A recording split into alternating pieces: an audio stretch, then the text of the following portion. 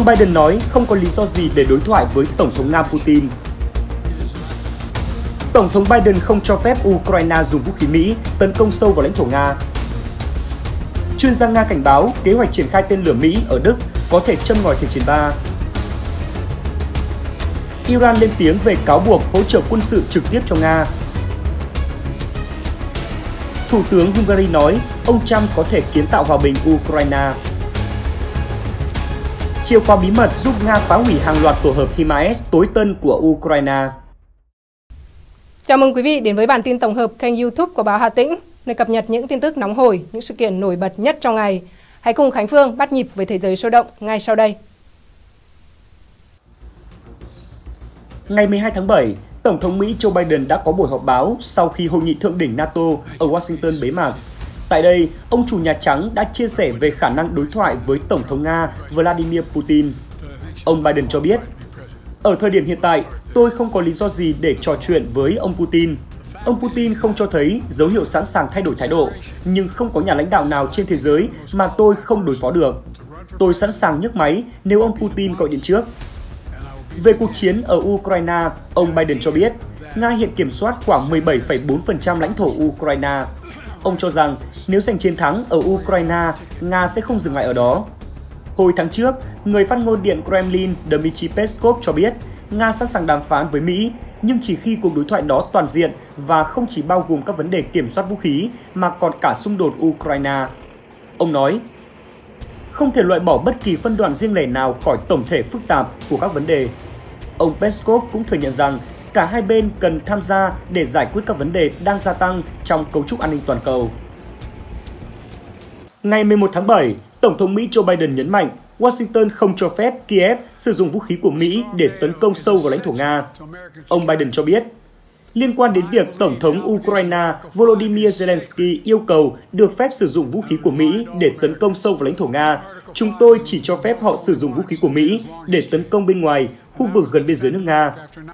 Mỹ cho phép Ukraine tấn công vượt ra ngoài biên giới Nga gần thành phố Kharkov của Ukraine. Tuy nhiên, ông Biden lại phản đối yêu cầu của Ukraine nhằm tấn công mục tiêu của Nga cách xa tới 400 km bên kia biên giới. Trong thời gian tới, Anh sẽ cho phép Ukraine tấn công vào lãnh thổ Nga bằng tên lửa tầm xa do nước này cung cấp. NATO cũng ủng hộ nỗ lực mở rộng phạm vi sử dụng vũ khí do phương Tây cung cấp của Ukraine. Tuy nhiên, một số nước khác, trong đó có Đức, không ủng hộ hành động này. Thủ tướng Đức Olaf Scholz cho biết, nước này sẽ hỗ trợ Ukraine ở mức tối đa, nhưng không muốn có sự leo thang giữa Nga và NATO. Điều này đòi hỏi Đức phải thật sự khôn ngoan và rõ ràng. Trong suốt thời gian diễn ra hội nghị thượng đỉnh NATO, Tổng thống Ukraine đã hối thúc Mỹ và đồng minh dỡ bỏ hạn chế, tập trung chủ yếu vào những vấn đề NATO có thể đảm bảo đối với an ninh Ukraine trong tương lai. Ông Volodymyr Zelensky cho rằng việc hạn chế Kiev sử dụng vũ khí tài trợ để tấn công Nga là hành động điên rồ. Trước đó, hồi cuối tháng 5 năm nay, phát ngôn viên Bộ Ngoại giao Mỹ cho biết, Tổng thống Biden đã bật đèn xanh cho phép Ukraine sử dụng vũ khí do Washington cung cấp để tấn công vào lãnh thổ Nga, nhưng không cho phép sử dụng tên lửa tầm xa. Về phía Nga, Điện Kremlin liên tục cảnh báo hành động cung cấp vũ khí cho Ukraine vì điều này có thể khiến cuộc xung đột leo thang hơn. Tổng thống Nga Vladimir Putin cho biết phản ứng của Nga đối với việc cung cấp vũ khí tầm xa cho Ukraine là không cân xứng. Ngày 11 tháng 7, Giám đốc Viện Khoa học châu Âu thuộc Viện Hàn lâm Khoa học Nga, ông Andrei Gromyko nhận định, kế hoạch triển khai tên lửa tầm trung và tầm ngắn của Mỹ tới Đức có thể dẫn đến Thế chiến 3. Ông Gromyko nói, ngày 11 tháng 7 là ngày cuối cùng của hội nghị thượng đỉnh NATO ở Washington. Hôm 10 tháng 7, có tin Mỹ và Đức đã ký một thỏa thuận tiếp tục triển khai tên lửa tầm trung và tầm ngắn tới Đức bắt đầu từ năm 2026. Ông Gromyko cảnh báo, nếu điều này xảy ra, các nước ở châu Âu sẽ lùi một bước về nửa đầu những năm 1980 và tình hình ở châu Âu có thể sẽ đẩy thế giới đến bờ vực của Thế chiến 3. Chuyên gia Gromyko cũng lưu ý rằng các nhà nghiên cứu chính trị gia và nhà ngoại giao còn rất nhiều việc phải làm để giải quyết vấn đề lâu dài về xung đột và hòa bình. Trong tuyên bố chung hôm 10 tháng 7, chính phủ Mỹ và Đức tuyên bố Mỹ sẽ bố trí tên lửa tầm xa ở Đức từ năm 2026. Những loại vũ khí này, bao gồm hệ thống SM-6 và Tomahawk, đã bị cấm ở châu Âu cho đến khi Washington rút khỏi một hiệp ước mang tính bước ngoặt từ thời chiến tranh lạnh vào năm 2019. Theo tuyên bố chung do Nhà Trắng công bố, Mỹ sẽ bắt đầu triển khai từng đợt vũ khí tầm xa của lực lượng đặc nhiệm ở Đức vào năm 2026 như một phần trong kế hoạch duy trì hoạt động của các vũ khí này trong tương lai. Các hệ thống vũ khí được triển khai tới Đức sẽ bao gồm tên lửa phòng không SM-6 có tầm bắn lên tới 460 km và tên lửa hành trình Tomahawk được cho là có thể tấn công các mục tiêu ở cách xa hơn 2.500 km. Nhà Trắng cho biết vũ khí siêu vượt âm đang phát triển cũng sẽ được đặt ở Đức và sẽ có tầm bắn xa hơn đáng kể so với các vũ khí trên đất liền hiện nay ở châu Âu. Thứ trưởng Bộ Ngoại giao Nga Sergei Ryabkov cảnh báo kế hoạch của Mỹ sẽ làm tăng khả năng xảy ra một cuộc chạy đua tên lửa và có thể dẫn đến leo thang căng thẳng không kiểm soát. Ông cho rằng, với việc triển khai vũ khí của Mỹ ở Đức, Washington và Berlin đang ném tiền qua cửa sổ.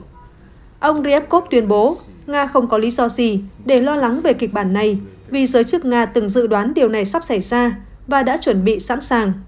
Theo ông, Mỹ và NATO không thay đổi chính sách gây hấn, nhưng Nga không bị đe dọa và sẽ luôn tìm cách đáp trả những hành động như vậy. Theo Thứ trưởng Bộ Ngoại giao Nga, Mỹ sẽ không thể kéo Moscow vào một cuộc chạy đua vũ trang tốn kém hoặc khiến Nga giải giáp vũ khí để gây bất lợi cho chính mình. Trong khi đó, Chủ tịch Hội đồng Liên bang Nga, bà Valentina Matvienko cho biết, phản ứng của Nga đối với việc triển khai tên lửa của Mỹ ở Đức sẽ rất cứng rắn. Bà Matvienko tuyên bố, tôi hy vọng điều đó sẽ không xảy ra, bởi vì phản ứng của Nga sẽ khắc nghiệt và tương xứng. Điều này đơn giản là không thể chấp nhận được. Nếu chúng tôi nêu ra tất cả các tài liệu thời hậu chiến, Đức không có quyền tiếp nhận các loại vũ khí này theo các thỏa thuận đã ký kết. Người phát ngôn Bộ Ngoại giao Nga, bà Maria Zakharova, nói với kênh truyền hình Russia 24 rằng việc công bố kế hoạch triển khai tên lửa tầm trung và tầm ngắn của Mỹ ở Đức nhằm bảo vệ danh tiếng của Tổng thống Mỹ Joe Biden. Bà Zakharova nói, Washington đang thực hiện một loạt biện pháp để cứu ứng cử viên Đảng Dân Chủ sau thất bại trong cuộc tranh luận của ông. Tất cả những điều này được thực hiện nhằm phần nào đó khiến công chúng sao lãng khỏi vấn đề mà Mỹ đang phải đối mặt. Trong một cuộc thảo luận mới đây tại Viện Reagan, Tổng thống Zelensky đã bày tỏ lo ngại Ukraine có thể không nhận đủ số lượng chiến đấu cơ F-16 mà nước này cần để tạo khác biệt trên chiến trường.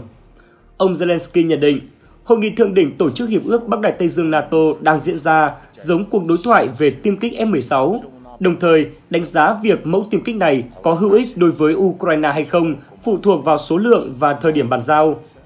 Theo nhà lãnh đạo Ukraine, Kiev chờ đợi hỗ trợ từ phương Tây như người mẹ chờ con sau giờ học.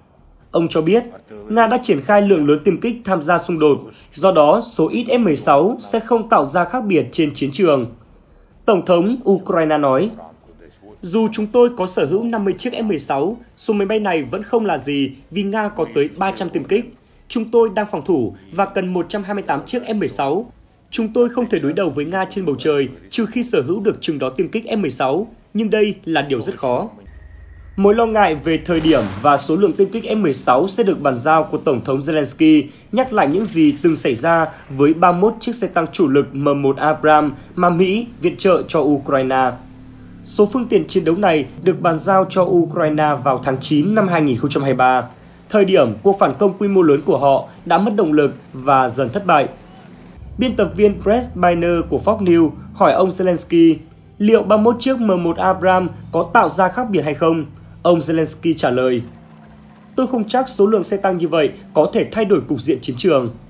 Ông Zelensky đưa ra bình luận trên sau khi Ngoại trưởng Mỹ Antony Blinken thông báo đợt chuyển giao tiêm kích F-16 đầu tiên cho Ukraine đang diễn ra. Số tiêm kích F-16 này đến từ Đan Mạch và Hà Lan. Không quân Ukraine dự kiến vận hành chúng vào mùa hè này. F-16 được đánh giá là đóng vai trò quan trọng trong nỗ lực nâng cấp năng lực của không quân Ukraine lực lượng đang vận hành các mẫu máy bay đã cũ được thừa hưởng từ Liên Xô và nhiều chiếc trong số này đã bị Nga phá hủy hoặc bắn hạ. Tuy nhiên, nhiều chuyên gia lẫn quan chức phương Tây hoài nghi khả năng F-16 giúp ích cho Ukraine, cũng như số máy bay và phi công có đủ để tạo nên khác biệt hay không. Một số người lo ngại tiêm kích F-16 có thể đến Ukraine muộn hơn đáng kể thời điểm họ cần chúng nhất một số quan chức phương Tây giải thích lý do họ mất nhiều thời gian để chuyển giao tiêm kích M16 cho Ukraine là vấn đề hậu cần phức tạp. ngày 11 tháng 7, một quan chức NATO nói, Việc chuyển giao tiêm kích F-16 không đơn giản là rút khỏi biên chế rồi bàn giao. Chúng tôi phải cấu hình lại F-16 nhận từ các nước để phù hợp với không quân Ukraine, cũng như đảm bảo họ có thể dùng chúng. Theo đánh giá của vị quan chức này, tiến trình đào tạo, công tác hậu cần và đảm bảo các khả năng cần thiết để vận hành, bảo vệ sân bay phù hợp với F-16 cũng như quá trình mua sắm và chuyển giao tiêm kích kéo dài một năm qua thật sự khá tốt. Tiêm kích đa năng F-16 do General Dynamics phát triển từ những năm 1970 được Mỹ và các đồng minh sử dụng. Mỗi chiếc F-16 có giá khoảng 30 đến 35 triệu đô tùy biến thể. Nhưng khách hàng có thể trả nhiều hoặc ít hơn dựa vào số lượng đặt mua, điều kiện kinh tế, chính trị và các yếu tố khác. F-16 có thể đạt tốc độ tối đa 2.121 km/h ở độ cao 12.000m, trần bay tối đa 18.000m với tầm hoạt động 546 km. M16 được trang bị một pháo 6 nòng 20 ly, 11 giá treo có thể mang theo 7,7 tấn vũ khí. Ngày 11 tháng 7, người phát ngôn Bộ Ngoại giao Iran Nasser Kanaani đã lên tiếng bác bỏ tuyên bố của các nhà lãnh đạo NATO rằng Tehran hỗ trợ quân sự cho Nga trong cuộc xung đột ở Ukraine. Theo đó, trong một phần nội dung tuyên bố chung được đưa ra hôm mùng 10 tháng 7, các nhà lãnh đạo NATO cáo buộc Iran và Triều Tiên đang tiếp tay cho cuộc chiến của Nga ở Ukraine bằng cách cung cấp hỗ trợ quân sự trực tiếp cho Moscow, chẳng hạn như đạn dược và máy bay không người lái. Các nhà lãnh đạo NATO còn tuyên bố bất kỳ vụ chuyển giao tên lửa đạn đạo và công nghệ liên quan nào của Iran cho Nga đều sẽ là bước leo thang đáng kể. Trong tuyên bố đáp trả, ông Kanaani cho biết Iran coi cáo buộc của NATO là hoàn toàn vô căn cứ và có động cơ chính trị đồng thời bác bỏ bất kỳ nỗ lực nào nhằm tạo mối liên hệ giữa xung đột ở Ukraine với việc hợp tác Iran-Nga. Người phát ngôn Bộ Ngoại giao Iran cũng nhấn mạnh cam kết của Tehran trong việc giúp đảm bảo sự ổn định và an ninh bền vững trong khu vực và khắp thế giới. Ông nhắc lại Iran chưa bao giờ cung cấp cho Nga bất kỳ máy bay không người lái nào để sử dụng chống lại Ukraine. Ông Kanaani nói thêm rằng Iran vẫn kiên quyết yêu cầu giải pháp chính trị cho xung đột Nga-Ukraine và thiết lập hòa bình lâu dài. Sau khi kết thúc hội nghị thượng đỉnh NATO ở Washington, Thủ tướng Hungary Viktor Orbán đã di chuyển tới dinh thự Mar-a-Lago gặp cựu Tổng thống Donald Trump ngày 11 tháng 7 để thảo luận về hòa bình Ukraine. Chia sẻ về cuộc gặp, phát ngôn viên của ông Orbán nói, đây là điểm dừng chân tiếp theo trong hành trình thực hiện sứ mệnh hòa bình của Thủ tướng. Nội dung thảo luận là về khả năng hòa bình. Thủ tướng Hungary sau đó đăng lên mạng xã hội X ảnh chụp cùng ông Trump kèm chú thích. Chúng tôi đã thảo luận về các biện pháp kiến tạo hòa bình. Tin tốt trong ngày đó là ông Trump sẽ làm được. Đáp lại, cựu Tổng thống Trump cũng đăng bài viết trên Trust Social, gửi lời cảm ơn Thủ tướng Hungary và nhấn mạnh phải nhanh chóng đạt được hòa bình cho xung đột Ukraine. Mar-a-Lago là điểm dừng chân mới nhất của Thủ tướng Hungary trong hành trình ông gọi là sứ mệnh hòa bình nhằm tìm ra hướng giải quyết xung đột Nga-Ukraine. Sau khi Hungary đảm nhận chức Chủ tịch luân phiên Hội đồng Liên minh châu Âu EU, ông Orbán đã tới Kiev, Moscow và Bắc Kinh để thảo luận về nỗ lực này, nhưng chưa đạt được kết quả cụ thể. Cựu Tổng thống Trump cũng nhiều lần tuyên bố ông có cách giải quyết cuộc chiến Ukraine trong 24 giờ nếu tái đắc cử, nhưng chưa nêu chi tiết. Trong cuộc phỏng vấn hồi tháng 3 năm nay, ông Trump cho biết, tôi sẽ nói một số điều nhất định với từng người, những điều mà tôi không thể tiết lộ với cả thế giới. Đó là lý do tôi không thể nói gì thêm. Điện Kremlin từng bày tỏ hoài nghi về những phát biểu của Trump, nói rằng hai bên không có liên lạc nào về vấn đề này và không có phương án nào cho phép kết thúc xung đột Ukraine trong 24 giờ như ông tuyên bố. Thủ tướng Orbán có quan hệ tốt với ông Trump và hai người đã gặp mặt hồi tháng 3 năm nay. Ông Orbán từng đăng thông điệp cổ vũ ông Trump tiếp tục chiến đấu sau khi cựu Tổng thống Mỹ vướng lùm xùm pháp lý từ năm ngoái. Cũng hồi tháng 3, Thủ tướng Hungary tuyên bố nếu ông Trump tái đắc cử, đó sẽ là cơ hội nghiêm túc duy nhất để chấm dứt xung đột Ukraine. Mới đây tờ Sputnik dẫn lời chỉ huy đơn vị phòng không Nga Jung cho biết, hệ thống tên lửa phòng không S-350 Vizat tham gia chiến dịch quân sự đã bắn hạ thành công 12 tên lửa HIMA cùng một lúc trong nhiệm vụ gần đây. Vị chỉ huy Nga nói, trong một nhiệm vụ gần đây, chúng tôi đã đối mặt với cuộc tấn công quy mô lớn bằng tên lửa HIMA của đối phương. Dù số lượng mục tiêu lên đến 16, nhưng hệ thống S-350 đã hoạt động hiệu quả trong việc ngăn chặn các mối đe dọa. Cũng theo chỉ huy trên, đây là lần đầu tiên tên lửa S-350 tham gia một nhiệm vụ phòng không như vậy.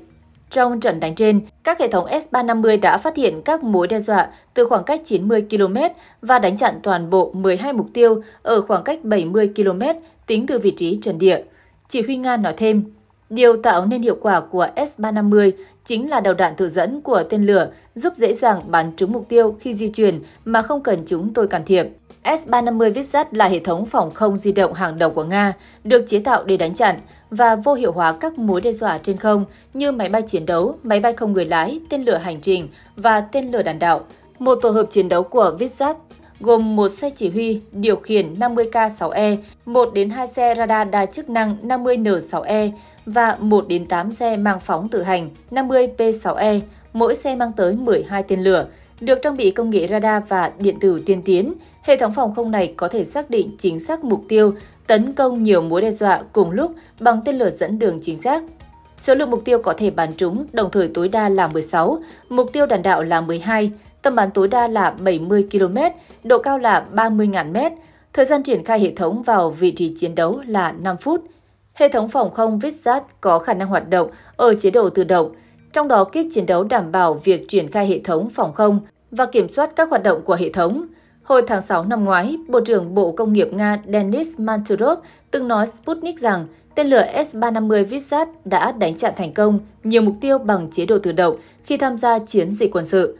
Cũng theo ông Manturov, S-350 là hệ thống phòng không đầu tiên trên thế giới được trang bị công nghệ trí tuệ nhân tạo AI, cho phép hệ thống tự theo dõi và tấn công mục tiêu không cần đến con người. Bộ trưởng Manturov cho biết thêm, hiện trên thế giới chỉ có các hệ thống phòng không của Nga mới có khả năng hạ gục tên lửa siêu thanh. Trong bối cảnh số lượng vũ khí do Mỹ và phương Tây cung cấp được Ukraine sử dụng để tấn công lãnh thổ Nga, thì Moscow cũng không chịu ngồi yên.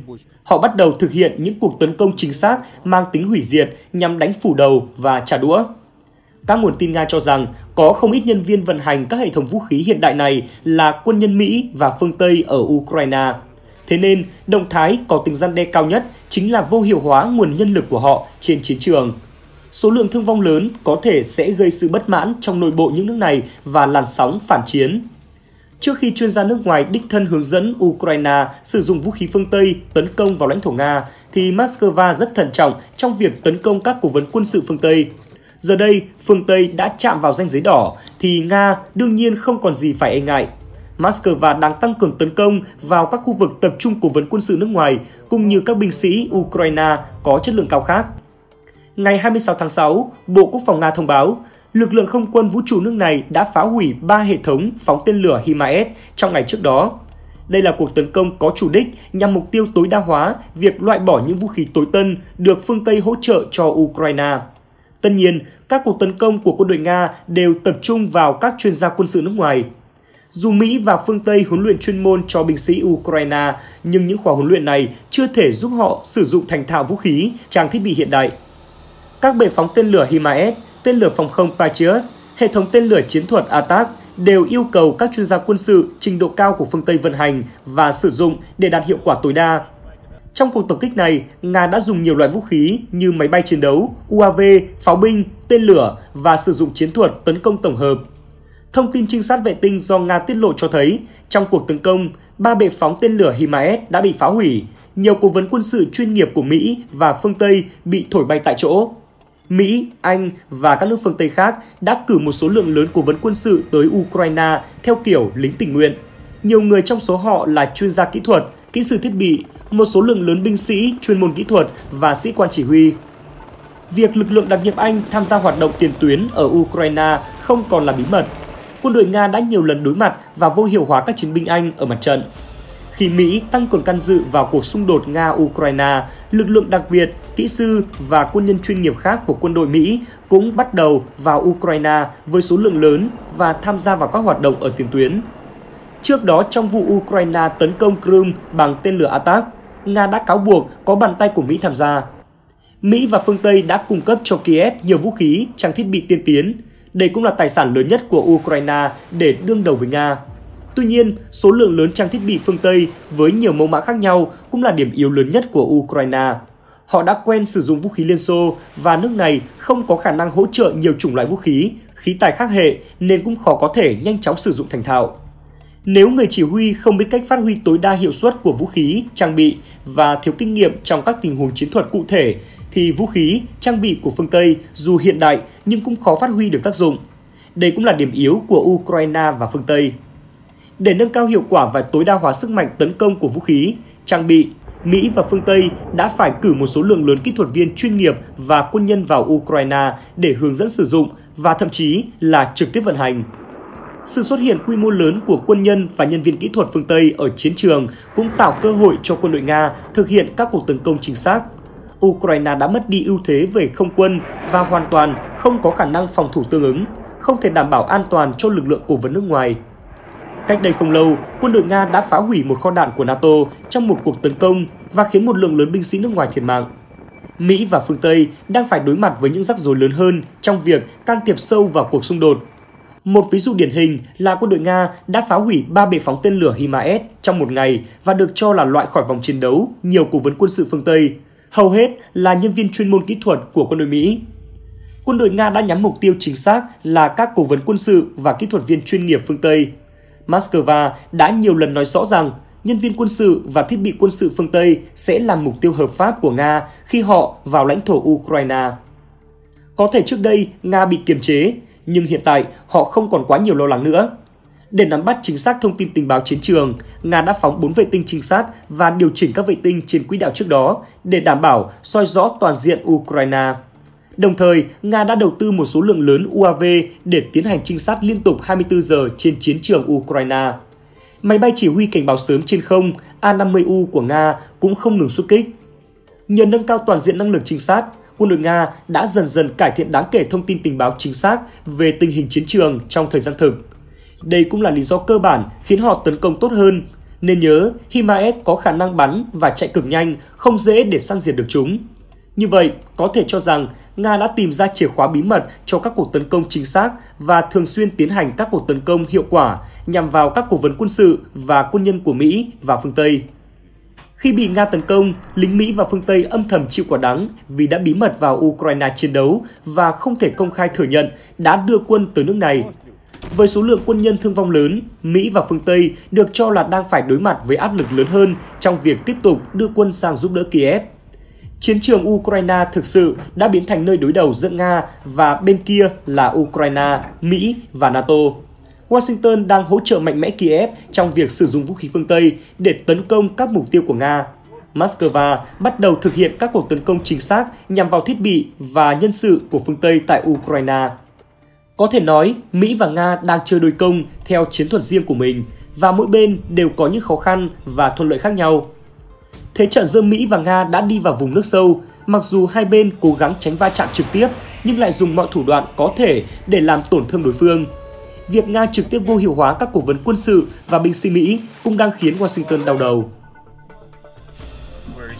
Nhà văn Ukraine Sergei Maidukov mới đây đã có bài viết trong chuyên mục của mình trên tờ Newsweek rằng Tổng thống Ukraine Volodymyr Zelensky đang bắt đầu nghiêng về xu hướng đàm phán hòa bình với Nga, hoặc ít nhất cũng là đạt được một thỏa thuận ngừng bắn với Moscow. Theo nhận xét của ông, không phải là đến giờ ông Zelensky mới nhận ra được sự cần thiết phải chấm dứt xung đột. Nhưng niềm tự hào đã không cho phép người đứng đầu chính quyền Kiev chấp thuận sớm ngồi vào bàn đàm phán với người đồng cấp Nga, Vladimir Putin.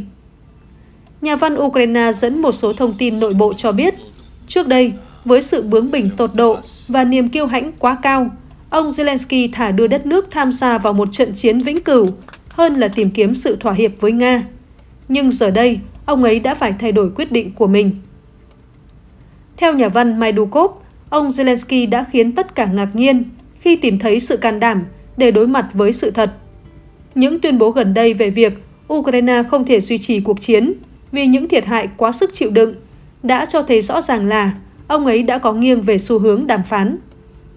Giải thích chi tiết về những đánh giá của mình, ông Maidukov đã trích dẫn việc người đứng đầu văn phòng của Tổng thống Zelensky là ông Andrei Yemak nói rằng Kiev có thể mời một đại diện của Nga tới hội nghị tiếp theo về Ukraine.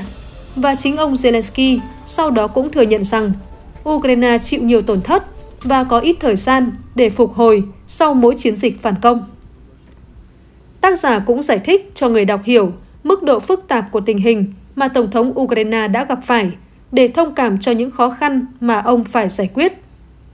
Thực tế rằng, việc Kiev phải đồng ý với các điều khoản của Liên bang Nga trong quá trình đàm phán có thể làm tổn hại đến xếp hạng uy tín của ông Zelensky và gây ra các cuộc biểu tình rầm rộ trên khắp đất nước. Tuy nhiên, ông Zelensky đến giờ đã hiểu rằng việc kéo dài thêm cuộc xung đột không phải là điểm tốt cho Ukraine.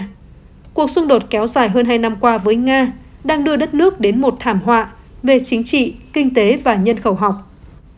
Ông Maidukov kết luận rằng, trước đây ông Zelensky đã gọi các điều kiện hòa bình do ông Putin đưa ra là tối hậu thư đối với Ukraine và tuyên bố rằng ông sẽ không bao giờ đồng ý với chúng. Nhưng giờ thì nhà lãnh đạo Kiev đã phải chấp nhận một thực tế phũ phàng là cuộc xung đột với Nga càng kéo dài, Ukraine sẽ càng mất nhiều hơn. Sau Hungary, mới đây một quốc gia thành viên NATO tiếp theo đã công khai phản đối đề xuất gia nhập khối của Kiev. Theo đó, đài RT đưa tin, Thủ tướng Slovakia Robert Fico cảnh báo việc Ukraine gia nhập NATO sẽ dẫn đến một cuộc chiến tranh thế giới thứ ba và công khai bày tỏ sự phản đối ý tưởng này. Ông Fico, người đang hồi phục sau một vụ ám sát, đã đăng một video ngắn vào ngày 11 tháng 7 như một lời đáp lại dự thảo thông cáo chung cuối cùng của Hội nghị Thượng đỉnh Thường niên NATO được cho là có đề cập đến con đường không thể đảo ngược của Ukraine trong việc gia nhập khối quân sự do Mỹ lãnh đạo. Trong video, Thủ tướng Slovakia nói, Tôi hiểu mong muốn của Ukraine, nhưng tư cách thành viên NATO sẽ đảm bảo cho Thế chiến thứ ba. Ông nói thêm, mặc dù công bằng mà nói, chúng ta cũng không ở quá xa mục tiêu đó, ngay cả khi Ukraine không là thành viên, nếu nhìn cách một số nền dân chủ tiên tiến đang đổ thêm dầu vào lửa như thế nào. Ông Fico cho biết, các đại diện của Slovakia tại Washington đã được chỉ thị nhấn mạnh hai điều kiện để trở thành thành viên NATO. Kiev phải đáp ứng mọi điều kiện do khối đặt ra và mọi quốc gia thành viên đều phải chấp thuận. Ông Fico nói, Tuy nhiên, như tôi đã nói nhiều lần, Smer và các nhà lập pháp của nước này tại Quốc hội Slovakia sẽ không đồng ý với việc Ukraine trở thành thành viên NATO. Phát ngôn này ý chỉ đảng cầm quyền của ông. Năm ngoái, ông Fico đã vận động tranh cử với quan điểm phản đối tư cách thành viên của Ukraine trong NATO cũng như phản đối hỗ trợ thêm quân sự của Slovakia cho Kiev. Ông đã giành được chiến thắng vang dội. Vào giữa tháng 5 vừa qua, một nhà hoạt động tự do được cho là không hài lòng với chính sách mới của Bratislava đã ám sát Thủ tướng Fico khiến ông suýt mất mạng. Vì Thủ tướng đã trải qua một loạt cuộc phẫu thuật và mất nhiều tuần để hồi phục. Ông mới trở lại làm việc vào tuần trước. Hôm 10 tháng 7, Ngoại trưởng Hungary Peter Sijato phát biểu với các phóng viên ở Washington rằng tư cách thành viên của Ukraine trong khối rõ ràng là không thể chấp nhận được vì nó sẽ báo trước xung đột trực tiếp giữa Nga và NATO. Khối quân sự do Mỹ dẫn đầu dự kiến sẽ cam kết viện trợ quân sự ít nhất 40 tỷ euro, tương đương 43,3 tỷ đô la Mỹ cho Ukraine trong năm tới và tán thành việc nước này hội nhập đầy đủ vào châu Âu, Đại Tây Dương. Nhưng theo một bản dự thảo mà hãng tin Reuters thấy được, lời mời gia nhập NATO sẽ chỉ được đưa ra khi các đồng minh đồng ý và các điều kiện được đáp ứng. Nội dung tương tự đã được sử dụng tại hội nghị thượng đỉnh NATO diễn ra năm ngoái ở Litva. Khi đó chính phủ Ukraine đã phản ứng mạnh vì không nhận được lời mời chính thức với việc Tổng thống Zelensky đăng một loạt bài đăng giận dữ trên mạng xã hội, cáo buộc NATO yếu đuối và hèn nhát. Tại hội nghị thượng đỉnh NATO ở Washington, ngày 10 tháng 7, Thủ tướng Na Uy Jonas Gahr thông báo NATO sẽ một lần nữa không thông qua quyết định mời Ukraine trở thành thành viên. Tuy nhiên, khối này sẽ cam kết hỗ trợ nhiều hơn cho Kiev và hỗ trợ gia nhập EU. Phát biểu với các phóng viên ở Washington, ông Store đã giải thích những suy đoán về nội dung của thông cáo chung hội nghị. Ông nói, tôi không nghĩ sẽ có bất kỳ lời mời nào sau hội nghị thượng đỉnh năm nay, nhưng mọi thứ khác sẽ nói lên một tương lai như vậy. Ngày 11 tháng 7, đài CNN của Mỹ loan tin Nga đã lên kế hoạch ám sát ông Armin Paperger, giám đốc điều hành, CEO của nhà sản xuất vũ khí Rheinmetall có trụ sở tại Đức. Dẫn lời năm quan chức Mỹ và phương Tây giấu tên, CNN cho biết âm mưu này được phát hiện vào đầu năm nay. Ông Paperger đã gắn bó với Rheinmetall trong 34 năm, trong đó có hơn 11 năm làm CEO của tập đoàn đang sản xuất đạn pháo và phương tiện quân sự cho Ukraine. Cũng theo CNN, Mỹ được cho là đã thông báo với Đức để các cơ quan an ninh của nước này có thể bảo vệ ông Paperger. Báo New York Times cũng đưa tin tương tự, nhưng trích dẫn từ nhiều quan chức phương Tây, trong khi tờ Financial Times của Anh dẫn nguồn tin là các nhà ngoại giao NATO. Thủ tướng Đức Olaf Scholz đã từ chối bình luận về thông tin trên khi được hỏi trong cuộc họp báo tại hội nghị thượng đỉnh NATO ở Washington. Tuy nhiên, ông nói thêm rằng chính phủ Đức nhận thức rất rõ về nhiều mối đe dọa mà họ phải đối mặt. Trong một tuyên bố khác, Remental nhấn mạnh các biện pháp cần thiết luôn được thực hiện thông qua sự tham vấn thường xuyên với các cơ quan an ninh Đức. Remental là một trong những nhà sản xuất đạn pháo và đạn xe tăng lớn nhất thế giới. Tập đoàn này bắt đầu tăng cường sản xuất sau khi xung đột Nga-Ukraine bùng nổ vào tháng 2 năm 2022. Hồi tháng 5 năm ngoái, Remental cho biết đã thành lập một liên doanh với tập đoàn nhà nước Ukraine Ukrobomdronsprom để chế tạo và sửa chữa xe tăng ở Ukraine. Vào tháng 2 vừa qua, Remental thông báo tiếp kế hoạch mở một nhà máy sản xuất đạn dược ở Ukraine. Cựu Tổng thống Nga Dmitry Medvedev, người hiện là Phó Chủ tịch Hội đồng An ninh Nga, cảnh báo Moscow sẽ trả đũa bằng cách tấn công bất kỳ cơ sở nào mà Rheinmetall thiết lập ở Ukraine. Theo CNN, việc nhắm vào CEO Rheinmetall chỉ là một trong hàng loạt kế hoạch của Nga nhằm ám sát lãnh đạo các công ty trong ngành quốc phòng trên khắp châu Âu. Một nguồn tin am hiểu vấn đề cho biết, tập đoàn Leonardo của Ý không có kế hoạch tăng cường các biện pháp an ninh cho các CEO của mình. Tuần trước, tập đoàn này vừa thành lập liên doanh với Rimental để sản xuất xe tăng. Khi được hỏi về bản tin của CNN tại hội nghị thượng đỉnh NATO ở Washington, Tổng thư ký NATO Jens Stoltenberg cho biết ông đã chứng kiến một chiến dịch bao gồm các hành động đối đầu của Nga chống lại khối này. Ông cảnh báo việc này chỉ dẫn đến việc các đồng minh tăng cường hỗ trợ cho Ukraine. Người phát ngôn của Bộ Nội vụ Đức và cơ quan tình báo nội địa Đức từ chối bình luận các thông tin trên CNN. Người phát ngôn của tập đoàn Saab Thụy Điển cũng từ chối bình luận, song nói rằng với tư cách là một công ty quốc phòng, Saab luôn có sự chuẩn bị và các hoạt động thường xuyên để bảo vệ doanh nghiệp cùng nhân viên. Mới đây, Bộ trưởng Bộ Quốc phòng Ukraine Rustem Umerov đã tiết lộ về kế hoạch dùng lợi nhuận từ tài sản đóng băng của Nga. Theo đó, trên Facebook, ông Umerov cho biết Kiev sẽ sử dụng số tiền này để mua sắm đạn dược, các hệ thống phòng không. Theo ông Umerov, Kiev dự kiến nhận được khoảng 2,72 đến 3,26 tỷ đô la Mỹ. Ông tuyên bố Ukraine có thể sử dụng đợt cung cấp đầu tiên trị giá khoảng 1,52 đến 1,63 tỷ đô vào đầu tháng 8 tới đây. Ông hy vọng hàng hóa và thiết bị được tài trợ bởi các quỹ này sẽ được chuyển đến Ukraine vào cuối năm nay. EU và Mỹ đã phong tỏa khoảng 300 tỷ đô la Mỹ tài sản của Nga ngay sau khi Moscow mở chiến dịch quân sự ở Ukraine vào đầu năm 2022. Mặc dù cho đến nay EU vẫn phản đối các yêu cầu từ Kiev và Washington về việc tịch thu hoàn toàn số tiền này, nhưng họ đã đồng ý dùng lợi nhuận từ các tài sản đó để chuyển cho Ukraine. Theo quyết định hồi tháng 5 vừa qua của Hội đồng châu Âu, 90% lợi nhuận từ các tài sản đóng băng sẽ được chuyển sang Quỹ Hòa bình châu Âu cơ chế của khối để hoàn trả cho các quốc gia thành viên số tiền đã chi cho việc cung cấp vũ khí cho Kiev, sau đó chuyển sang quỹ hỗ trợ Ukraine mới thành lập. Trong khi đó, 10% còn lại được chuyển vào ngân sách EU để hỗ trợ các chương trình cho Kiev và ngành công nghiệp quốc phòng của khối. Nga đã nhiều lần chỉ trích sự hỗ trợ quân sự của phương Tây cho Ukraine, cho rằng điều này chỉ khiến xung đột leo thang và kéo dài Moscow cũng tuyên bố đáp trả việc phương Tây đóng băng và có ý định tịch thu tài sản của Nga. Trong một tuyên bố chung được đưa ra hôm 10 tháng 7, Washington và Berlin cho biết Mỹ dự kiến sẽ triển khai tên lửa hành trình Tomahawk SM-6 và tên lửa siêu vượt âm theo từng đợt tới Đức từ năm 2026. Động thái ban đầu mang tính tạm thời nhưng hướng đến bố trí các vũ khí này lâu dài nằm trong cam kết của Mỹ với an ninh của NATO và châu Âu. Liên quan đến vấn đề này, mới đây Thứ trưởng Bộ Ngoại giao Nga Sergei Ryabkov tuyên bố đây là mối đe dọa an ninh nghiêm trọng và Moscow sẽ đáp trả bằng biện pháp quân sự. Ông nói, chúng tôi sẽ có phản ứng quân sự đáp trả mối đe dọa mới này một cách bình tĩnh với các đầu lạnh. Ông nói thêm rằng NATO và Washington đang tìm cách đe dọa Moscow và động thái này chỉ là một mắt xích trong chuỗi leo thang. Phát ngôn viên Điện Kremlin Dmitry Peskov cho biết Động thái một lần nữa thể hiện rõ bản chất đối đầu của NATO. Ông Peskov bổ sung, chúng tôi thấy hạ tầng quân sự NATO liên tục thay đổi vị trí, hướng về phía biên giới Nga. Theo phát ngôn điện Kremlin, tình trạng này buộc Nga phải phân tích kỹ lưỡng những quyết định được đưa ra tại hội nghị thượng đỉnh NATO ở Mỹ, từ đó có biện pháp ứng phó phù hợp. Các tên lửa mặt đất Mỹ muốn đưa đến Đức đều bị cấm theo Hiệp ước Lực lượng Hạt nhân tầm trung INF năm 1988 giữa Mỹ với Liên Xô INF cấm các bên triển khai khí tài có tầm bắn 500 đến 5.000 km. Năm 2019, Mỹ đã rút khỏi INF, cáo buộc Nga vi phạm hiệp ước, điều mà Điện Kremlin bác bỏ. Moscow sau đó cũng có động thái tương tự. Ngày 11 tháng 7, Đại sứ Nga tại Washington Anatoly Antonov cho biết kế hoạch triển khai vũ khí tầm xa mới của Mỹ ở Đức làm tăng khả năng xảy ra một cuộc chạy đua vũ trang và có thể gây ra sự leo thang không thể kiểm soát.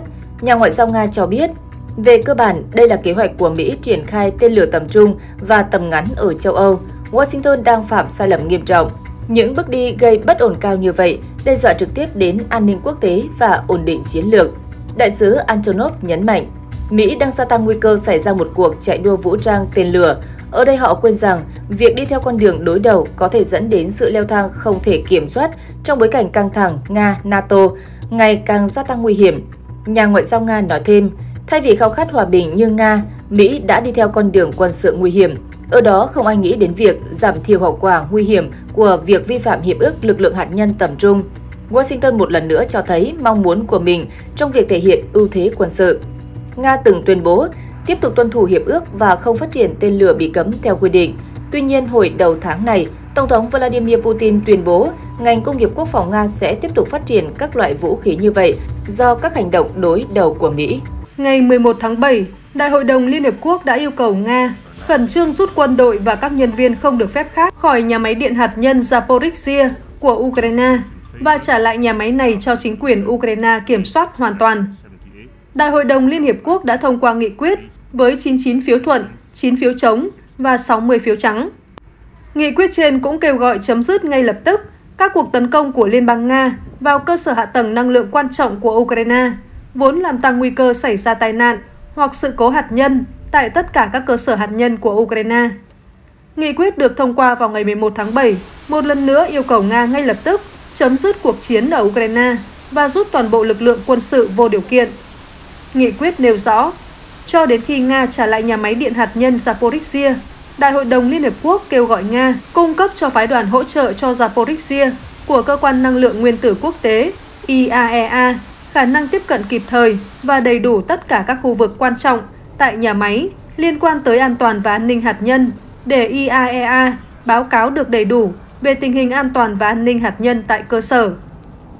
Trước cuộc bỏ phiếu, Đại sứ Ukraine tại Liên Hợp Quốc Sergei Kislytsia cho rằng nhà máy điện hạt nhân Zaporizhia đã được xem là một phần không thể thiếu trong chiến lược quân sự của Nga và cảnh báo hậu quả của một sự cố ở đó sẽ rất thảm khốc. Ông Kislicia cho biết, bụi phóng xạ có thể di chuyển rất xa và ảnh hưởng đến các khu vực cách xa địa điểm xảy ra vụ việc. Ông nói, bức xạ là không có biên giới. Ông kêu gọi tất cả các quốc gia bỏ phiếu ủng hộ nghị quyết và nhấn mạnh, chúng ta nợ điều này với các thế hệ tương lai. Chúng ta phải đảm bảo rằng nỗi kinh hoàng của thảm họa hạt nhân sẽ không lặp lại. Tuy nhiên, phát biểu trước Đại hội đồng Liên Hiệp Quốc trước cuộc bỏ phiếu, Phó Đại sứ Nga tại Liên Hiệp Quốc Dmitry Polyansky cho rằng dự thảo nghị quyết này là có hại bị chính trị hóa nặng nề và không liên quan tới an toàn hạt nhân. Ông cáo buộc Ukraine là mối đe dọa thực sự đối với an toàn và an ninh hạt nhân khi thực hiện các cuộc tấn công thường xuyên và liều lĩnh vào nhà máy điện hạt nhân Zaporizhia, cơ sở hạ tầng liên quan và thành phố lân cận, nơi nhân viên nhà máy và gia đình họ sinh sống. Nhà máy Zaporizhia là nhà máy điện hạt nhân lớn nhất châu Âu. Nga đã kiểm soát nhà máy này ngay sau khi Moscow triển khai chiến dịch quân sự ở Ukraine vào tháng 2 năm 2022. Ngày 12 tháng 7, trong một tuyên bố trên Telegram, Bộ Quốc phòng Nga cho biết trung bình mỗi ngày quân đội nước này tuyển mộ thêm hơn 1.000 binh sĩ hợp đồng kể từ đầu năm cho đến nay. Từ năm 2022, sau khi phát động chiến dịch quân sự ở Ukraine, Bộ Quốc phòng Nga cũng thực hiện việc tuyển binh sĩ hợp đồng trên diện rộng. Trong 6 tháng đầu năm, con số này đã lên đến gần 200.000 người. Tháng trước, Tổng thống Nga Vladimir Putin cho biết hiện có khoảng 700.000 binh sĩ nước này đang được triển khai tại Ukraine. Trong những tháng gần đây, Tổng thống Ukraine Volodymyr Zelensky và phương Tây nhiều lần đưa ra tuyên bố Nga đang lên kế hoạch cho đợt tổng động viên một phần thứ hai. Đợt đầu tiên diễn ra vào tháng 9 năm 2022. Phát biểu tại một sự kiện ở Saint Petersburg vào tháng trước, Tổng thống Putin nhấn mạnh Moscow không cần phải huy động thêm binh sĩ nghĩa vụ. Cùng theo Tổng thống Putin, quân đội Nga đã giải phóng 47 khu định cư và hơn 880 km vuông đất kể từ đầu năm, dần dần đẩy lùi đối phương ra khỏi vùng Donbass. Tuy nhiên, Nga cũng sửa đổi về luật nghĩa vụ quân sự vào tháng 3 năm nay. Theo quy định mới, công dân từ 18 tới 30 tuổi phải có trách nhiệm tham gia nghĩa vụ quân sự. Những người đủ 27 tuổi trước cuối năm 2023 cũng như những người đã 28 hoặc 29 tuổi cùng thời điểm sẽ không thuộc diện gọi nhập ngũ. Họ sẽ được chuyển sang ngạch dự bị động viên. Trong khi đó, quân đội Ukraine đang phải vật lộn để bổ sung quân số sau cuộc phản công năm 2023 thất bại và giao tranh dữ dội ở Donbass năm nay. Trong tháng 4 năm nay, Ukraine đã hạ độ tuổi nghĩa vụ quân sự từ 27 xuống 25, trao thêm quyền cho các sĩ quan tuyển quân và tăng hình phạt cho những người trốn nghĩa vụ quân sự. Các quan chức Ukraine cũng phàn nàn việc phương Tây trận giao vũ khí cũng dẫn đến nhiều thương vong hơn cho quân đội nước này. Vài ngày trước, trang tin của Bộ Quốc phòng Ukraine đã công bố đoạn video ghi lại cảnh một máy bay không người lái UAV phát nổ trên tòa nhà lắp ráp và thử nghiệm của Trung tâm Thử nghiệm Tên lửa Chiến lược tại quận Aktubin, tỉnh Astrakhan của Nga. Video cho thấy khói đen bốc lên từ nóc tòa nhà. Sau đó là tiếng nổ lớn và đám lửa bùng lên phía trên công trình, song không rõ thiệt hại cụ thể. Kênh Telegram Astra cho biết, 9 UAV tấn công khu vực thuộc quản lý của đơn vị số 15644 gần Znamen, nơi quân đội Nga đặt thao trường Kapustinya. Hai chiếc khác lao vào vị trí của đơn vị số 15650.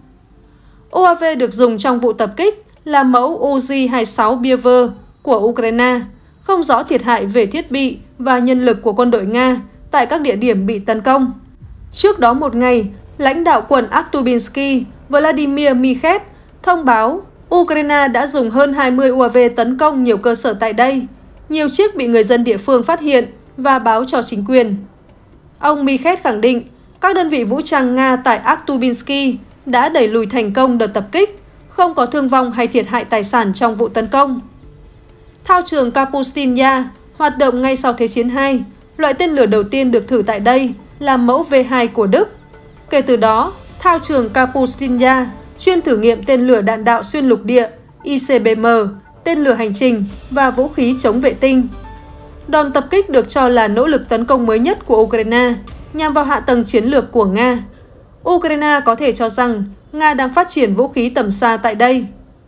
Tháng trước, quân đội Ukraine đã phóng tên lửa đạn đạo ATAC do Mỹ chế tạo vào trạm liên lạc không gian NIP-16 của Nga tại bán đảo Crimea.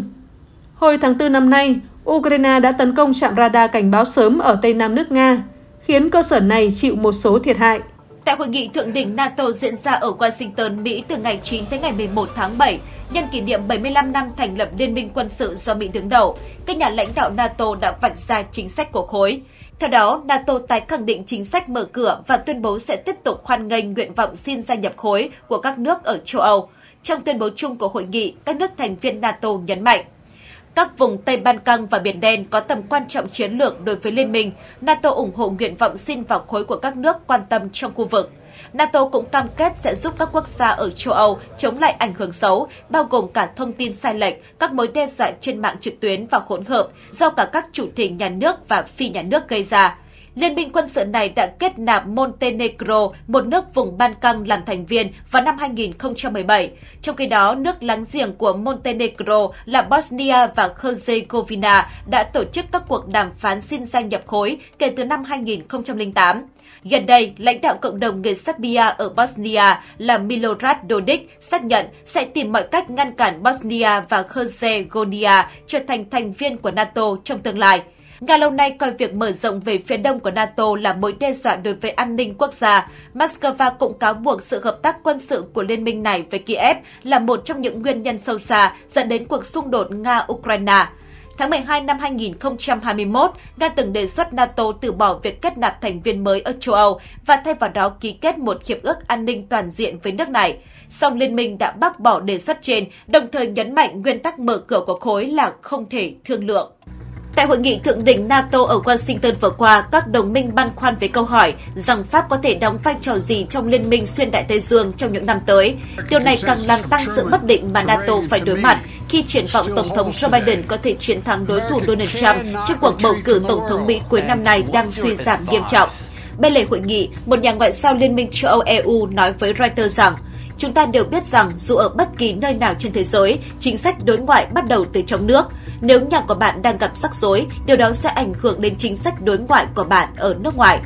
Tại thượng đỉnh NATO, Tổng thống Pháp Emmanuel Macron tham gia một cách lặng lẽ và không tiếp xúc nhiều với báo chí. Trong một cuộc họp báo, ông đã trấn an các đồng minh, khiến họ cảm thấy nhẹ nhõm hơn sau khi có kết quả bầu cử Quốc hội Pháp. Sau hậu trường, Tổng thống Macron nỗ lực khẳng định rằng kết quả cuộc bầu cử Quốc hội hôm 7 tháng 7 tại Pháp không tồi tệ như dự đoán, vì các phe cực hữu và cực tả đều không giành được đa số tuyệt đối.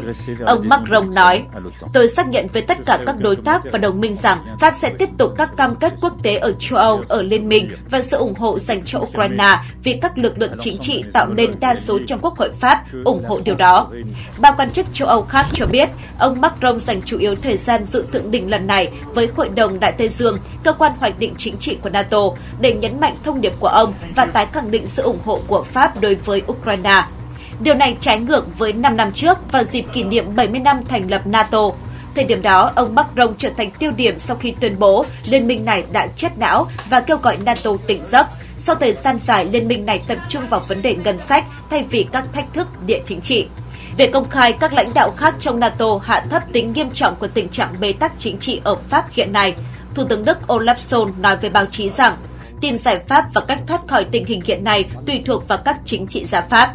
Các quan chức cho biết, Thủ tướng Đức đã nói đùa với ông Macron về khả năng sáng tạo trong hợp tác với Liên minh, điều khiến nhà lãnh đạo Đức đau đầu và ông Macron sẽ phải học trong những tháng tới. Tuy nhiên, tác động của cuộc bầu cử Quốc hội Pháp thể hiện rõ tại hội nghị. Ông Macron là nhà lãnh đạo cuối cùng có mặt tại thượng đỉnh ở Washington và bỏ lỡ việc chiêu đãi kỷ niệm 75 năm. Ông cũng giảm thời gian chuyến đi xuống chỉ còn 36 giờ và hủy kế hoạch thăm Canada. Ngoại trưởng Stefan Sejourne không tháp tùng ông trong chuyến đến Mỹ mà ở lại tập trung xử lý vấn đề trong nước. Trong khi lãnh đạo các nước khác tích cực thể hiện tại hội nghị, ông Macron lại tránh phát biểu nhiều. Một nhà ngoại giao Ukraine nói rằng Kiev và ông Macron đã tránh được kịch bản tồi tệ nhất sau cuộc bầu cử. Nhà ngoại giao nói, ông ấy có thể không còn quyền điều hành nhưng chúng tôi vẫn hy vọng có thể xoay sở được. Tại cuộc họp thượng đỉnh NATO ở Washington diễn ra từ ngày 9 đến ngày 11 tháng 7, Chiến sự tại giải Gaza là một trong những nội dung đốt nóng đối thoại giữa các lãnh đạo của khối. Theo đó, ngày 11 tháng 7, phát biểu tại họp báo ở Washington, sau khi kết thúc kỳ họp, Tổng thống Thổ Nhĩ Kỳ Recep Tayyip Erdogan đã lên tiếng phản đối mọi dự định hợp tác với Israel trong khuôn khổ NATO, trong bối cảnh chiến sự Gaza đang diễn ra. Ông nói, chính phủ Israel đã xem thường những giá trị nền tảng của liên minh, vì thế không thể tiếp tục giữ quan hệ đối tác với NATO. Liên minh quân sự NATO có 32 nước thành viên, song cũng có cơ chế hợp tác với nhiều nước ngoài khối lẫn các tổ chức quốc tế khác, được gọi là mô hình đối tác NATO. Israel thiết lập quan hệ đặc biệt với NATO từ năm 1989 và xây dựng quan hệ đối tác với NATO từ năm 1995 thông qua cơ chế đối thoại Địa Trung Hải. Khi cân nhắc tình hình xung đột tại lãnh thổ của người Palestine, trong đó có giải Gaza, ông Erdogan nhấn mạnh mọi dự định hợp tác giữa NATO và Israel là không thể chấp nhận được. Ông chỉ trích chính phủ Israel đang theo đuổi các chính sách mở rộng và liều lĩnh, đe dọa an ninh của chính người dân Israel lẫn toàn bộ khu vực Trung Đông. Ông Erdogan nói, cho đến khi hòa bình toàn diện và bền vững được thiết lập ở Palestine, Thổ Nhĩ Kỳ sẽ không chấp nhận bất kỳ dự định hợp tác nào với Israel trong khuôn khổ NATO. Tổng thống Thổ Nhĩ Kỳ đồng thời kêu gọi những thành viên có trách nhiệm của cộng đồng quốc tế bắt tay thúc đẩy giải pháp hai nhà nước giữa Israel và Palestine dựa trên đường biên giới năm 1967. Ông ủng hộ các nước công nhận nhà nước Palestine và tham gia gửi khiếu nại về các chính sách của Israel chống lại Palestine lên Tòa án Công lý Quốc tế ICJ. Tổng thống Erdogan tuyên bố Thổ Nhĩ Kỳ sẵn sàng tham gia mọi sáng kiến để tuyên bố ngừng bắn ở giải Gaza và tiến đến thiết lập hòa bình vĩnh viễn tại khu vực, trong đó có sáng kiến về bảo hộ an ninh. Ông nói, tôi kêu gọi tất cả đồng minh gia tăng áp lực lên chính phủ Thủ tướng Benjamin Netanyahu. Họ cần cam kết ngừng bắn và không can thiệp viện trợ nhân đạo cho nhân dân giải Gaza vốn đang phải chịu đói suốt 9 tháng qua. Hôm 10 tháng 7, Thủ tướng Tây Ban Nha Pedro Sanchez cũng kêu gọi NATO đưa ra lập trường chính trị nhất quán về chấm dứt cuộc khủng hoảng nhân đạo đang ảnh hưởng đến người Palestine, tổ chức hội nghị hòa bình quốc tế nhằm thúc đẩy thành lập nhà nước Palestine. Theo Thủ tướng Tây Ban Nha, việc công nhận nhà nước Palestine là cần thiết cho hòa bình, nhấn mạnh động thái này không chống lại bất kỳ ai, kể cả Israel. và là cách duy nhất để đảm bảo tương lai của hai quốc gia cùng chung sống trong hòa bình và an ninh. Tại cuộc họp báo ngày 11 tháng 7, Tổng thống Mỹ Joe Biden tuyên bố Washington sẽ không bỏ lệnh cấm chuyển giao các loại bom một tấn cho Israel do lo ngại loại vũ khí này sẽ gây ra thảm kịch nhân đạo nghiêm trọng. Ông kêu gọi Israel chấm dứt cuộc chiến tại giải Gaza, song vẫn ủng hộ đồng minh tiếp tục truy đuổi Hamas cùng lãnh đạo cánh quân sự của tổ chức này là Yahya Sinwar. Ngày 11 tháng 7, trong một cuộc họp báo, Tổng thống Mỹ Joe Biden đã thừa nhận rằng các thành viên Đảng Dân Chủ có thể không ủng hộ ông khi họ phải đối mặt với các cuộc chiến tranh cử khó khăn, dựa lo ngại rằng tư cách ứng viên của ông có thể kéo lùi các cuộc đua bỏ phiếu ở các điểm nóng cạnh tranh quyết liệt với phe Cộng hòa. Chủ nhân Nhà Trắng nói, sự thật của vấn đề là tôi hiểu được lợi ích cá nhân của một ứng viên. Nếu họ nghĩ rằng việc tranh cử với tôi ở vị trí dẫn đầu sẽ gây tổn hại cho họ, thì họ sẽ bỏ chạy Tôi hiểu điều này.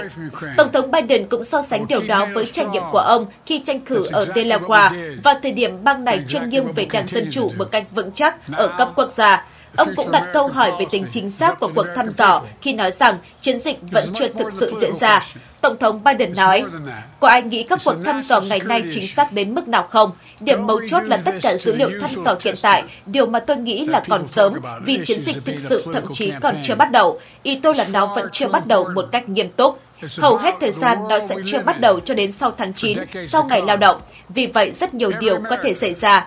Tổng thống Biden cũng nói rằng ông là người đủ điều kiện nhất để giành chiến thắng, nhưng thừa nhận các thành viên đảng Dân Chủ khác có thể đánh bại ông Trump. Tuy nhiên, theo Tổng thống Biden, lợi thế của ông là điều mà bất kỳ ứng viên nào cũng sẽ phải bắt đầu lại từ đầu.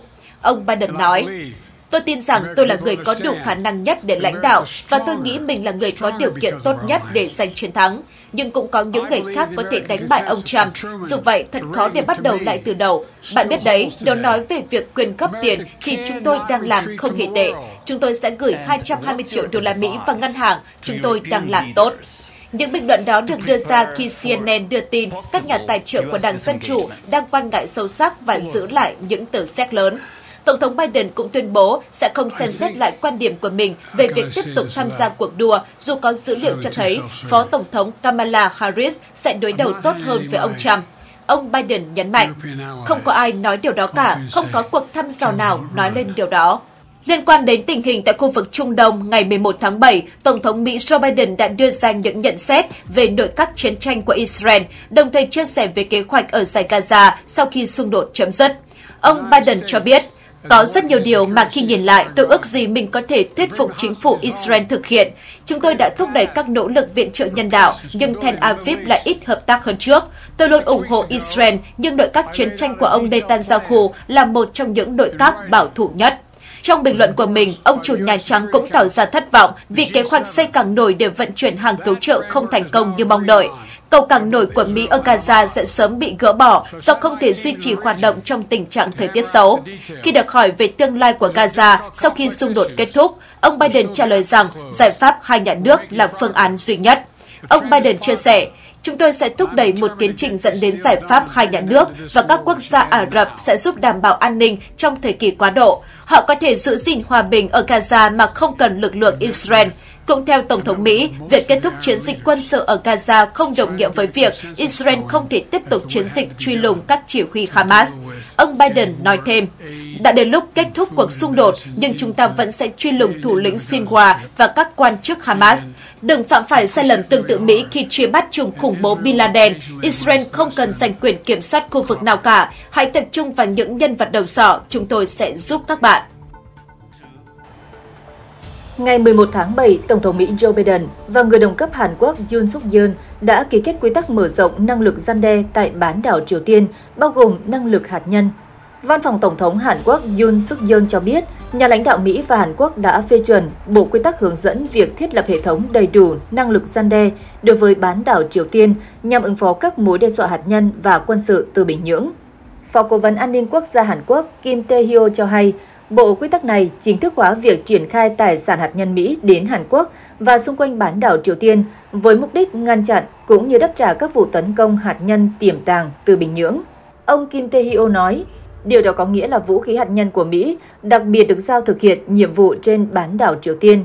Trước đó, Tổng thống Mỹ Joe Biden và Tổng thống Hàn Quốc Jun Suk-jeon đã đưa ra tuyên bố chung bên lề hội nghị thượng đỉnh NATO ở Washington tái khẳng định sự phối hợp chặt chẽ chống lại mối đe dọa hạt nhân của Triều Tiên, tuyên bố nhấn mạnh Tổng thống Mỹ và Hàn Quốc tái khẳng định cam kết trong tuyên bố Mỹ-Hàn ở Washington, nhấn mạnh bất kỳ cuộc tấn công hạt nhân nào của Triều Tiên nhằm vào Hàn Quốc sẽ gặp phải phản ứng nhanh chóng, áp đảo và quyết đoán.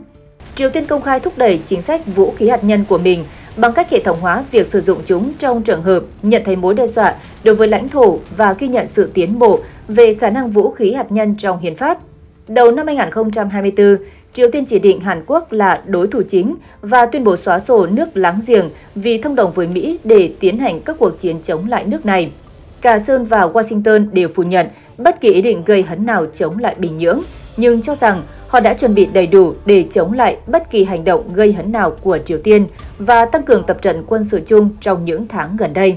Ông Jun tái khẳng định sự ủng hộ của Hàn Quốc đối với Ukraine, cam kết tăng gấp đôi khoản đóng góp của nước này cho quỹ ủy thác của NATO từ mức 12 triệu đô la Mỹ mà nước này đã cung cấp vào năm 2024. NATO cho biết quỹ này cho phép hỗ trợ quân sự không gây sát thương trong thời gian ngắn và hỗ trợ xây dựng năng lực dài hạn. Ngày 11 tháng 7, Cơ quan Quản lý Chương trình Mua sắm Quốc phòng Hàn Quốc DAPA cho biết nước này sẽ triển khai vũ khí laser trong năm nay cho mục đích bắn hạ máy bay không người lái UAV của Triều Tiên. Động thái này có thể sẽ đưa Hàn Quốc trở thành quốc gia đầu tiên trên thế giới triển khai và vận hành loại vũ khí này trong quân đội. DAPA cho biết, đất nước chúng tôi đang trở thành quốc gia đầu tiên trên thế giới triển khai và vận hành vũ khí laser và khả năng phản ứng của quân đội chúng tôi trước hành động khiêu khích bằng UAV của Triều Tiên sẽ được tăng cường hơn nữa. Theo DAPA, khí tài này mang tên Block 1 có khả năng tấn công chính xác UAV cỡ nhỏ ở tầm gần. Cơ quan này cho biết thêm rằng đây là một phần của dự án phát triển vũ khí laser, chiến tranh giữa các vì sao của Seoul. DAPA tiết lộ, đối phương gần như không thể phát hiện tia laser do Block 1 chiếu vào UAV. Cơ quan này cho hay, nó vô hình và không phát ra tiếng động, không cần loại đạn riêng và chỉ cần điện để vận hành. DAPA không tiết lộ chi phí sản xuất Block 1, song cho biết mỗi phát bắn chỉ tốn khoảng 1,5 đô la Mỹ, thấp hơn nhiều so với con số từ hàng chục đến hàng trăm nghìn đô la Mỹ của các thế hệ phòng không phổ biến khác. Hình ảnh DAPA công bố cho thấy Block 1 có kích thước tương đương một container, trên nóc đặt vũ khí laser, bên sườn gắn một vật thể dường như là radar hoặc thiết bị theo dõi. Cơ quan này cho biết Block 1 có chiều dài 9 m, chiều cao và chiều rộng 3 m. Theo DAPA, các biến thể trong tương lai của Block 1 dự kiến có thể đối phó với những mối đe dọa lớn hơn UAV như máy bay và tên lửa đạn đạo, điều sẽ giúp nó trở thành vũ khí thay đổi cục diện. Cơ quan này cho hay họ sẽ phát triển vũ khí phòng không bằng laser Block 2 với hiệu suất và tầm bắn lớn hơn phiên bản hiện tại. DAPA tiết lộ Block 1 đã được phát triển trong vòng 5 năm với chi phí đầu tư hơn 63 triệu đô la Mỹ. Dự án do Viện Phân tích Quốc phòng Hàn Quốc dẫn đầu và có sự tham gia của Tập đoàn Hàng không Vũ trụ Hanwha theo DAPA, Block 1 được xác nhận đạt khả năng sẵn sàng chiến đấu vào tháng 4 năm ngoái, sau khi bắn hạ 100% mục tiêu trong các bài thử nghiệm thực tế. Hồi đầu năm, Anh đã công bố pháo laser lửa rồng có khả năng chống lại máy bay hoặc tên lửa với chi phí 13 đô la Mỹ mỗi phát bắn, song chưa thông báo thời gian triển khai loại khí tài này. Năm 2022, Hải quân Mỹ tuyên bố đã thử nghiệm thành công một hệ thống laser năng lượng cao để bắn hạ mục tiêu giống tên lửa hành trình Lực lượng này cho biết, cuộc thử nghiệm cho thấy một phần tương lai của vũ khí laser, song chưa có ý định trang bị nó cho các chiến đấu cơ. Hàn Quốc công bố vũ khí laser mới trong bối cảnh UAV giá rẻ đang ngày càng chiếm vai trò lớn trong cuộc chiến hiện đại với khả năng vô hiệu hóa hoặc phá hủy các thiết bị quân sự trị giá hàng triệu đô la Mỹ. Để đối phó UAV giá rẻ, quân đội các nước thường phải sử dụng các hệ thống phòng không có chi phí hàng trăm nghìn đô la Mỹ cho mỗi phát bắn, gây ra thách thức lớn về mặt kinh tế. Tháng 12 năm 2022, Hàn Quốc đã triển khai chiến đấu cơ và trực thăng ngăn chặn sau khi cáo buộc 5 UAV của Triều Tiên bay qua biên giới. Đây được coi là lần đầu tiên UAV Triều Tiên hoạt động trong lãnh thổ Hàn Quốc kể từ năm 2017. Về mặt lý thuyết, hiện Seoul và Bình Nhưỡng vẫn ở trong tình trạng xung đột, do hai nước mới chỉ ký hiệp định đình chiến, không phải hiệp ước hòa bình. Mới đây, Trung Quốc đã mở một cuộc điều tra liên ngành vì vụ bê bối sử dụng xe bồn chở hóa chất vận chuyển dầu ăn gây rúng động nước này.